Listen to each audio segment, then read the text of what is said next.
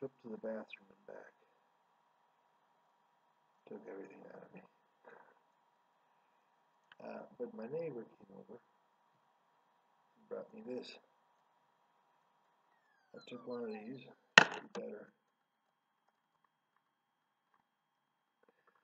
Pain is inside the body.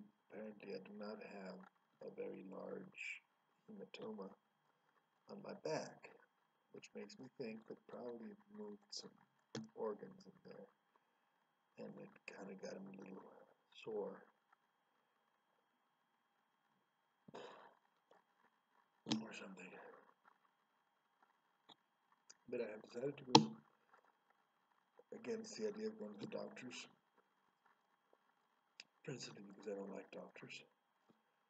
It's not my favorite time of day. I mean, I go to the doctor, I check my eyes, and they already want to rip my eye open and put a strata glass in there and I have cataracts. Like, it's just not something you do with people.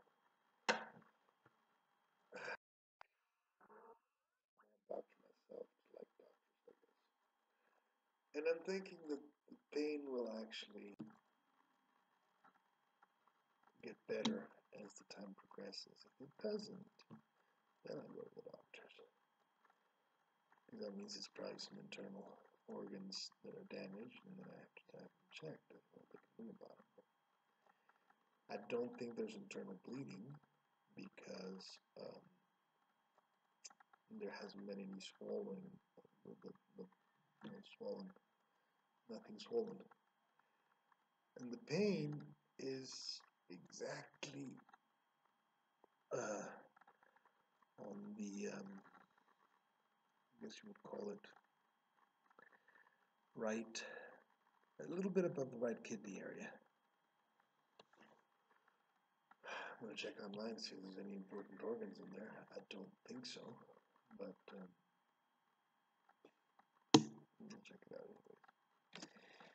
You know, it's not about self-medication all that shit. It's about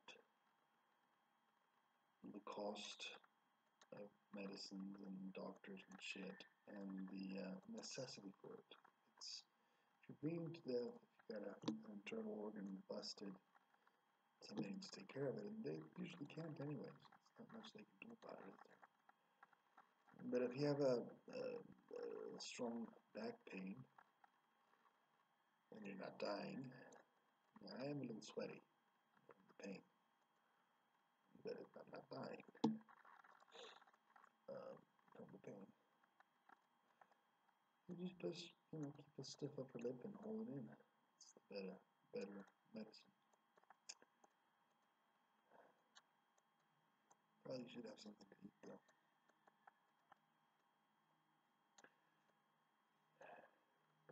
Gonna be a hell of a trip.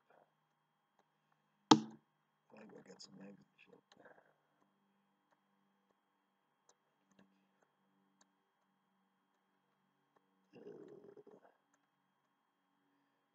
Of that.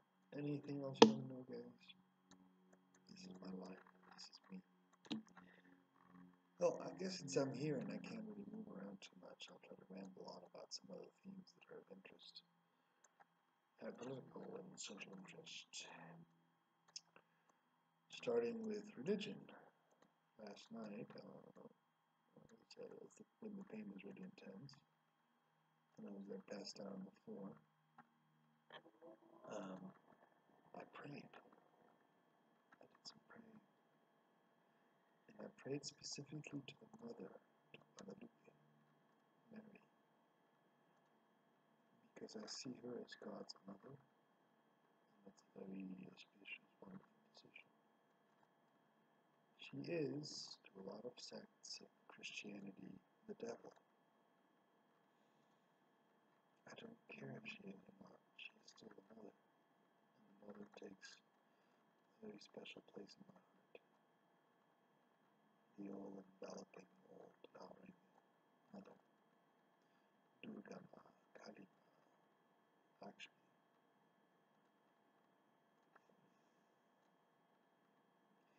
So why do I pray to the mother and not to the father?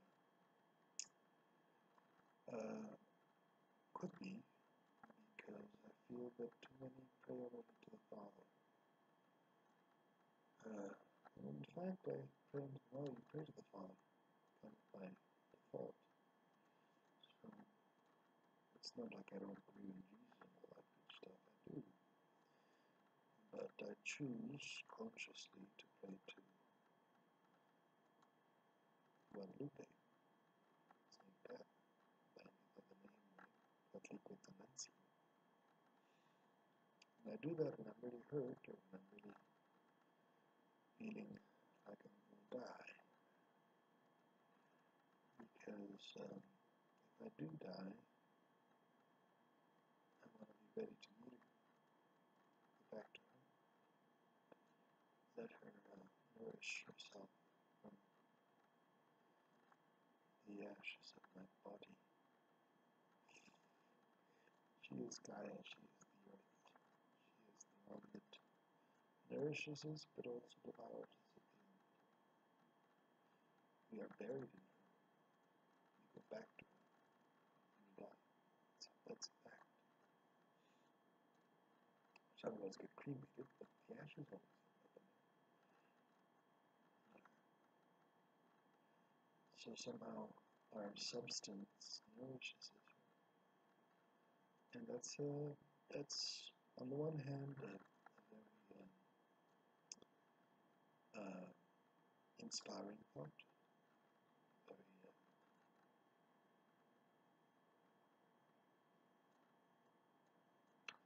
tender thought. On the other, it's kind of terrifying. Ooh, I'm passing out. Why the fuck am I passing out? Oh yeah, I get in the back door. Mental confusion.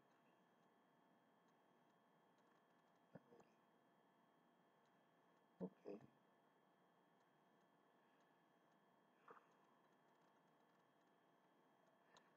Constant pain makes you want to just pass out. When something hurts, the tendency of the body is to shut down. And yet, I feel that it's not a great idea to shut down. Actually, it's probably not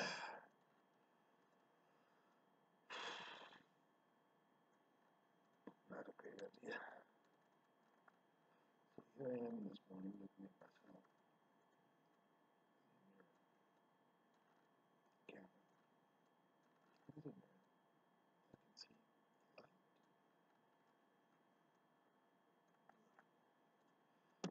Mirror behind the mirror.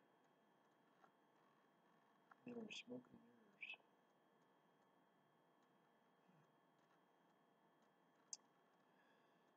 So, what to do about social justice? Well, I believe the, the uh,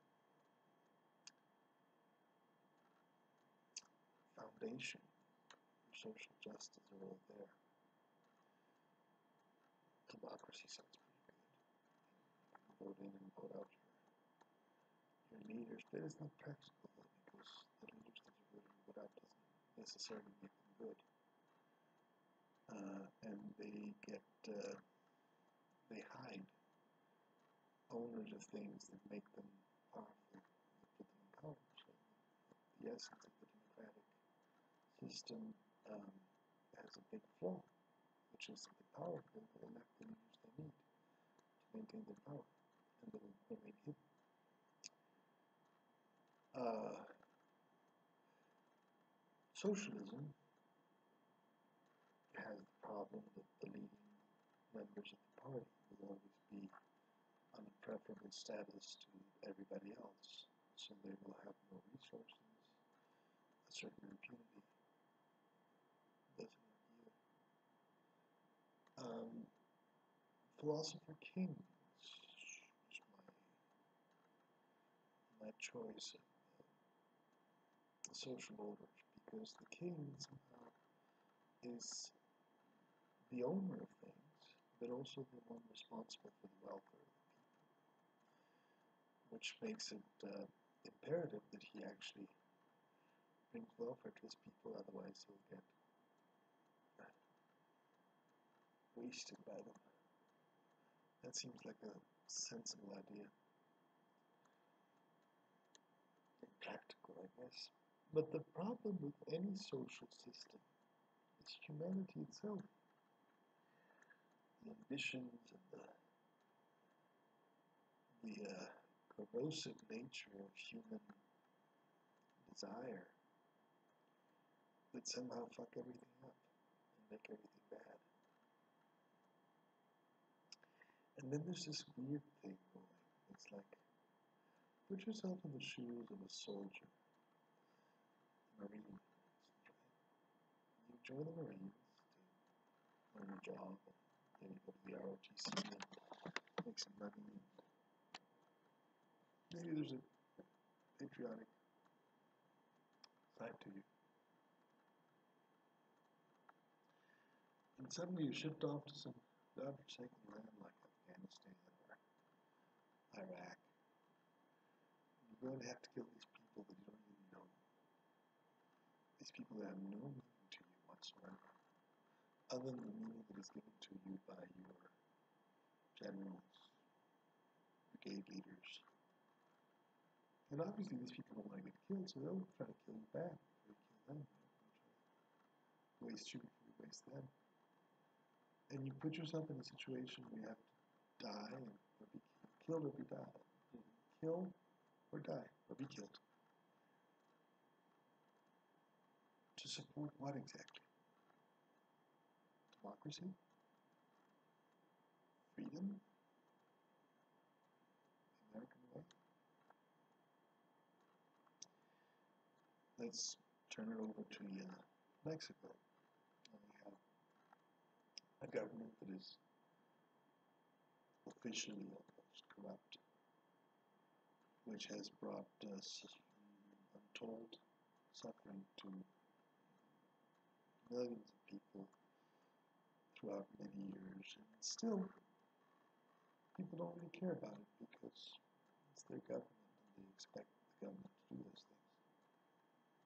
Sell the right, mining rights to their sacred land and all that stuff the vision of the government is one that is antagonistic from the start. So they don't really believe in it. People that want to get into the government or want to get into laws, they do it for personal ambition.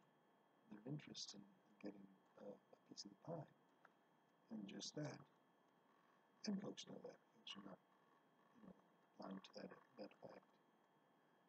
Um, somehow it's more natural It's more vibrant because somehow you get the idea that these personal ambitions and these, you know, uh, egomaniacs that run for office, uh, you know what to expect out of them, coming. You don't make yourself ideals that they're going to save society. No. They're just another bunch of ambitious fools trying to take their piece of the pie, and you accept them as such and you try to take the least of the, of the, the least evil of them. As your rulers are the ones that are going to buy you the torta. So somehow the relationship between government and people is more. And that's why guys like El Chapo Guzman, those you know, leaders of organized crime are actually hugely uh, popular because they're just like politicians, in a sense. Which is really comical if you think about it. Ridiculous. But it is the way it is. It is what, how it works. Mexico is a very Kafkaesque land. Now, who brings hope to the masses? And why would one want to bring hope to the masses? The masses need to get spiritually awakened before they can actually be of any worth to themselves or to the planet. There's no sense in bringing hope to people that all, all they really want is a car, big screen TV, in the, big apartment. Those ambitions, those desires are not what it's about. And awakening people to that awakening people to the fact that there are other values and other concepts that are grandeur is the real job.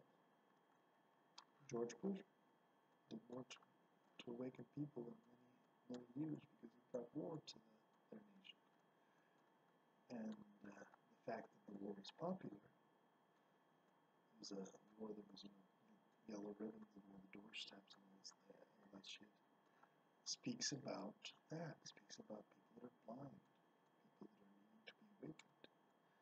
I don't know if bombs and destruction, massive destruction and death is going to awaken people, but surely is one of the ways. Because if you have all your family killed, you'll get political about.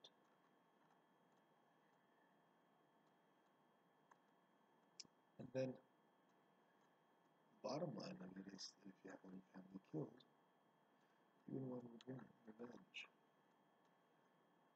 And the idea is to go beyond those petty emotions. You know, to go way beyond that.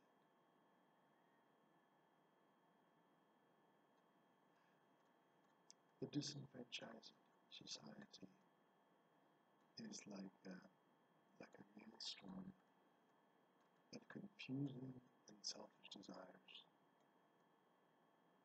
that reach up to heaven, stinking up the whole.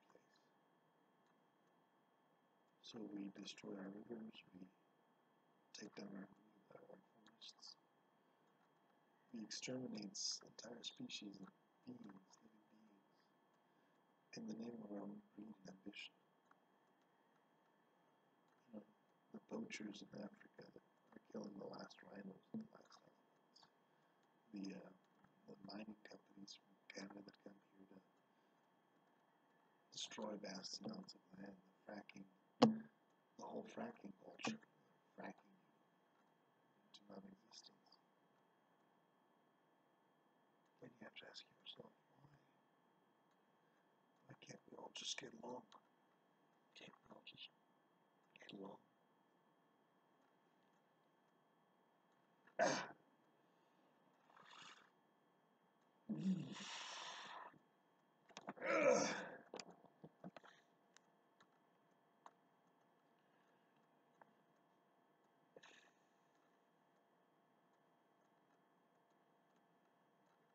What must one do to do his part or his, his or her part to help awaken the sleeping masses? The answer is to live well, to live awake, not to lie, not to cheat, masturbate to Japanese pornography, Japanese manga pornography, exceedingly. You can masturbate a little bit, but not too much, because it becomes an addiction. Become an otaku.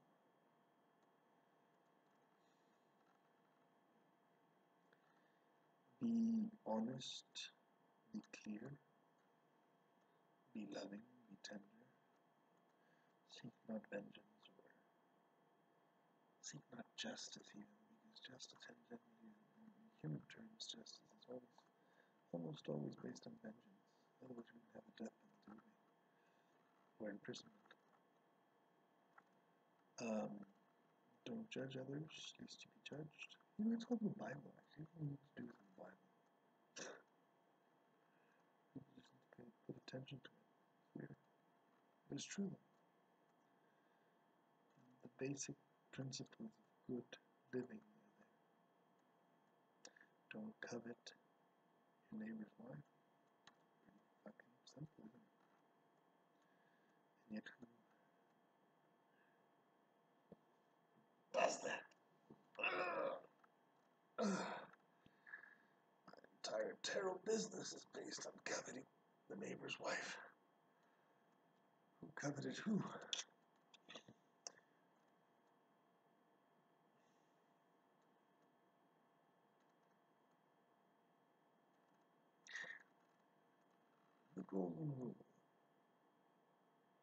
Perhaps that's the simplest one. Do unto others as you would have others do unto you. If you like Japanese pornography, you're shit out of luck.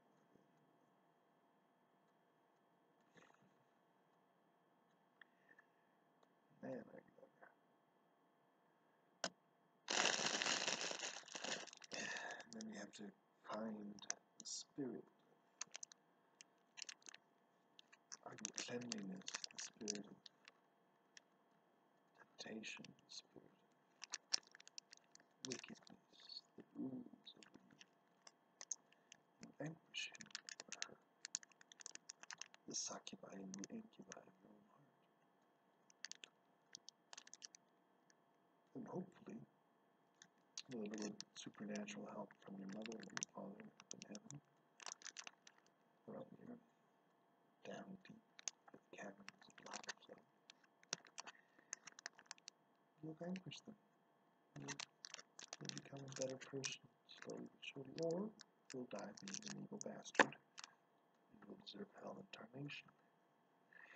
But here's where I get in trouble with Christianity and Islam and some Now, I've been there, so I know it exists.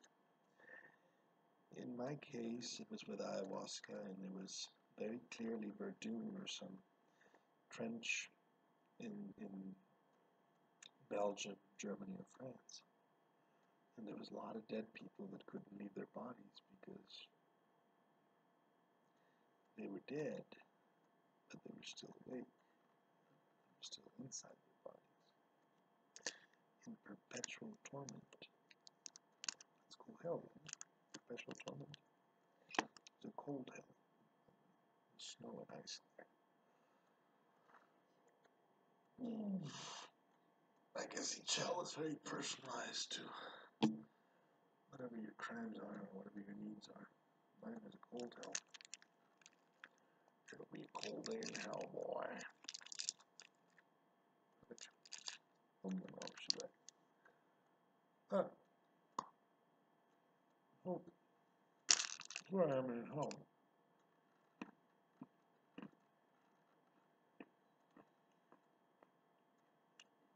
Suffering the uh, punishment of the damned,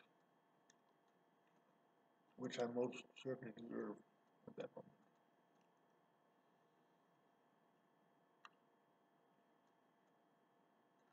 Watching all these millions of beings also suffering the punishment of the damned.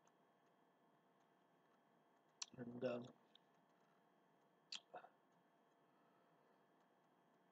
somehow it's not a journal. Oh, there's an exit clause in there. So I go to the other realm, which in my case was Chichen Itza, the pyramid. And they're still all dead, but now we're all dancing, we're all brothers and sisters, and we're all loving each other. There's every imaginable race of men in there yellow, brown, black, white. And at the top of the pyramid, there's this priest uh, with a with a, a loincloth, green and white loincloth. And under the priest is this huge, gigantic feathered serpent with white feathers and green crest. Kind of like turning around in the uh, pyramid. And the people are dancing to the serpent. And the serpent has people on its back, so it's really wide. As wide as this room, at least. Maybe wider. The people are riding the serpent up and down the pyramid. And uh, the reason we're in heaven is because we're all brothers and sisters. We love each other. Hola. Hola. Así que así es en mi blog. Me atropellaron, chica. ¿Cómo que te atropellaron? Me atropellaron. Pero ¿cómo fue eso? Entonces salí de la tienda, Ajá. salí de la tienda, es el callejoncito ese con el que tiene, ¿dónde está la mecha? Ahí enfrente de la mecha. Ajá, ajá.